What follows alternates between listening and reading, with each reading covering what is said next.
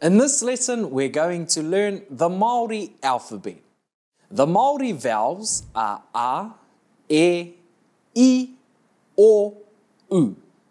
These vowels are always pronounced the same. A, e, i, o, u.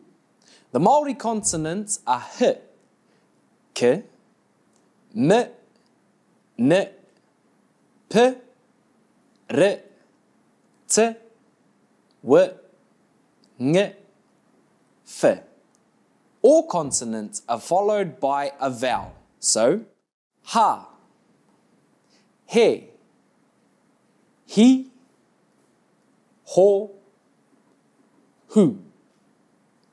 Ka, ke, ki, ko, ku. Ma, me, mi, mo, mu.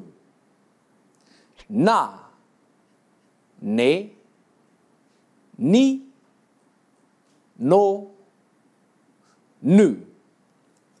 Pa, pe, pi, po, pu.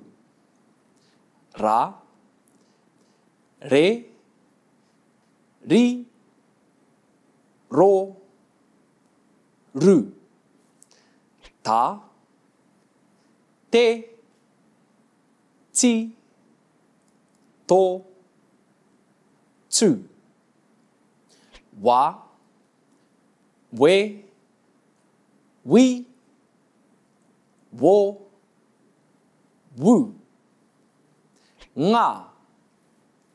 Nge, ngi, ngo, ngu.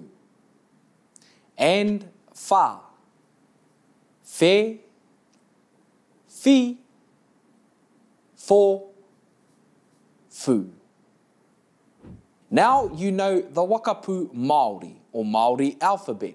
In the next lesson, we'll learn a waiata or song about the Wakapu Māori, the Māori alphabet. Tēnā karawhiua. Give it a go.